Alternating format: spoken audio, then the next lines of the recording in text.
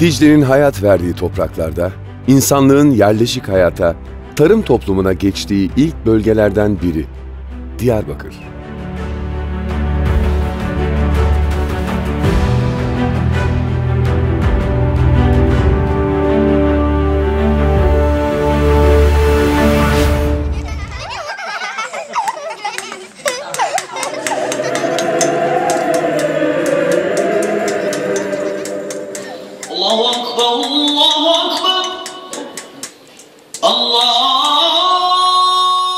Kesintisiz bir şekilde birbiri üzerine inşa edilen medeniyetlerin izleri, Diyarbakır'ı tarihsel ve kültürel yönden zenginleştirmiştir.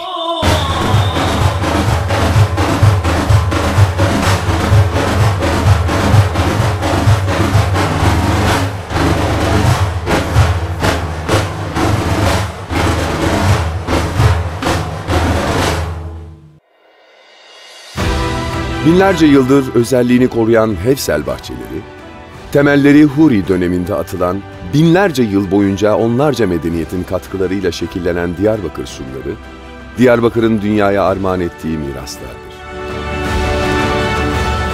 Diyarbakır surları, zaman içerisinde gelip geçen uygarlıkların genişlemesine göre gelişmiş ve kalkan balığını andıran son şekline bürünmüştür. Surlar yükseklikleri 12 metreyi bulan 82 burçla birbirlerine bağlanırlar. Surlara dört ana kapıdan girilmektedir. Surların içinde bugün hala canlılığını koruyan görkemli yapılar bulunur.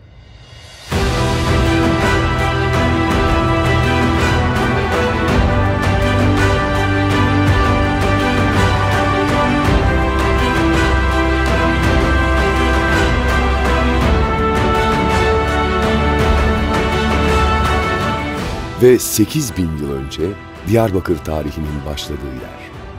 İçkale.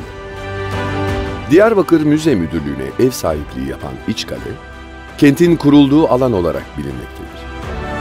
Müze ilk olarak 1934 yılında Ulu Camii yakınındaki Zinciriye ya da diğer adıyla Senceriye Medresesi'nde açılmıştır.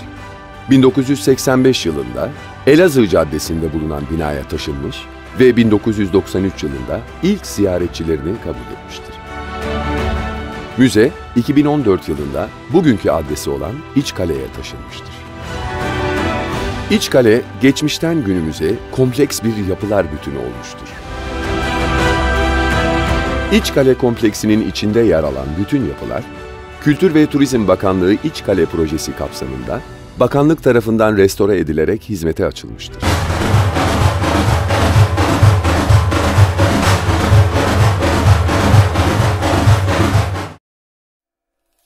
İçkale'nin batısında Diyarbakır'ın ilk kurulduğu nokta olarak kabul edilen Amida Höyük bulunmaktadır. Artuklu Sarayı kalıntılarının da yer aldığı höyüğün, M.Ö. 6. bin yıldan itibaren yerleşim gördüğü ortaya çıkarılmıştır. Diyarbakır'a İslamiyet'in gelişi, İslamiyet'in doğduğu yıllara rastlar. Hazreti Ömer döneminde Diyarbakır'ın fethi, Hazreti Süleyman Camii ve 27 şehit sahabeye ait türbenin bulunduğu yerden başlamıştır. Bugün de cami, önemli bir ibadet merkezi olarak ayakta durmaktadır.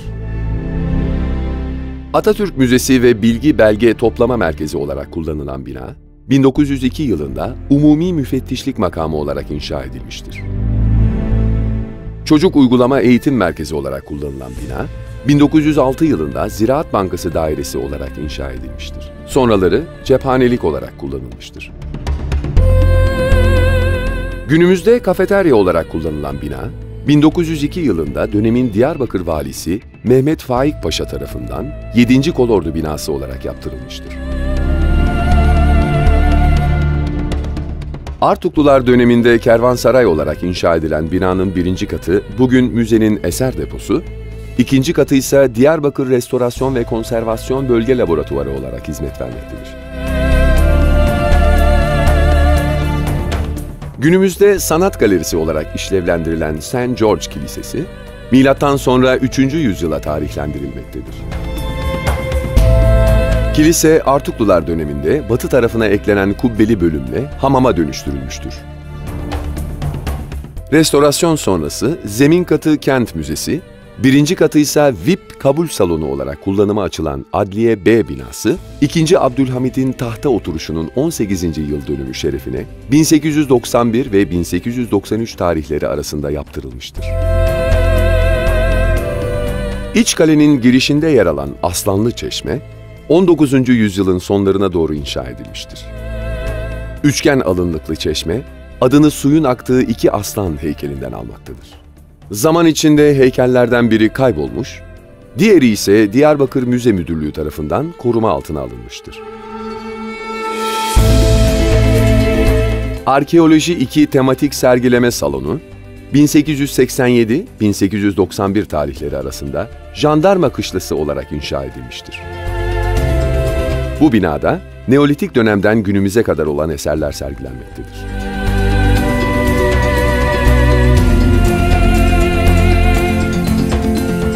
Diyarbakır'da gerçekleştirilen kazılarda ele geçen buluntuları kronolojik olarak sergileyen Arkeoloji 1 Kronolojik Sergileme Binası 1889 yılında yapılmıştır. Yapıldığı dönemde ise hükümet konağı olarak kullanılmıştır. Bugün bu binada Neolitik devrimin ilk adımlarının atıldığı dönemden Osmanlı dönemi sonuna kadar tarihlendirilen eserler sergilenmektedir. Arkeoloji 1 binası ziyaretçilerine 12 bin yıllık bir tarihi sunmaktadır.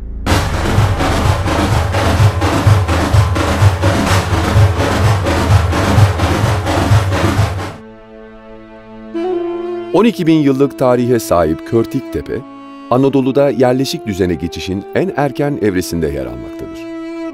Yakın Doğu ve Anadolu'nun çanak çömleksiz Neolitik dönemine yeni sonuçlar sunmakta ve dönemine göre gelişmiş bir kültürün temsilciliğini yapmaktadır.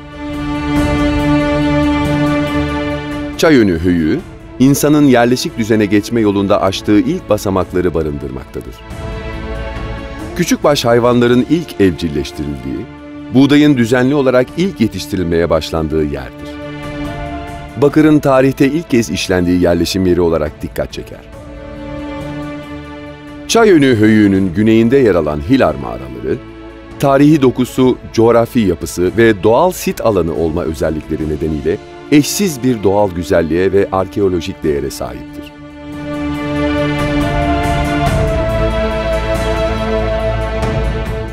bin yıllık Hakemi Use höyüğü, Yukarı Mezopotamya'nın ilk boyalı çanak çömlek geleneğini sergiler. Bu geleneğin en güzel örnekleri bu höyükte karşımıza çıkar. 7800 yıl öncesinde iskan gören Karavelyan, Halaf kültürünün erken evresini yansıtır. Karavelyan, bu kültürün Anadolu'da tespit edildiği nadir kazı alanlarından biridir. 6600 yıl öncesine tarihlenen Kenantepe, Mezopotamya kökenli Ubeyd kültürünün Yukarı Dicle'de karşılaşılan en zengin buluntularını barındırmaktadır. Salat çayı kenarına 6000 yıl önce kurulmuş Salat Tepe yerleşimi, Huri ve Mitanni dönemlerinde kesintisiz olarak kullanılmıştır. Milattan önce 17. yüzyıla tarihlenen bir Dimtu çiftliğine ait olduğu düşünülen iki katlı yapı kompleksi güçlü bir depremle yıkılmış, demir çağında tepe üzerine kazılan çukur evlerde göçer topluluklar kış mevsiminde barınmıştır. Hurilerin bölgedeki varlığını 3. bin yılın ortalarına kadar geri götüren Müslüman Tepe. Küçük ve orta ölçekli yerleşmelerin kırsal bağlamda ne gibi bir rol oynadığını anlamaya yönelik araştırmalara ışık tutan Hırbemerdon Tepe. Asur medeniyetinin ve siyasi gücünün Orta Asur döneminden Asur İmparatorluğu'nun M.Ö. 612'de yıkılışına dek Yukarı Dicle bölgesinde 700 yıl boyunca dönem dönem devam eden varlığını kanıtlayan Ziyaret Tepe, Üç Tepe ve Kavuşan Höyük. Diyarbakır Müzesi, kentin yakın tarihteki belleğini de korumakta ve canlı tutmaktadır. Bünyesinde Ziya Gökalp Müzesi, Cahit Sıtkı Tarancı Müzesi ve Silvan Atatürk Müzesi'ni barındırmaktadır. İçkale içerisindeki yapıları, kendisine bağlı kent müzeleri ve başkanlığı altında yapılan tüm kazılarla birlikte insan nasıl insan olduğu sorusunun cevaplarını vermeyi başaran Diyarbakır Müzesi, nereden geldiğimizi ve nasıl bir yolculuk yaptığımızı bugünün ve yarının insanlarına aktarma görevini üstlenmiştir.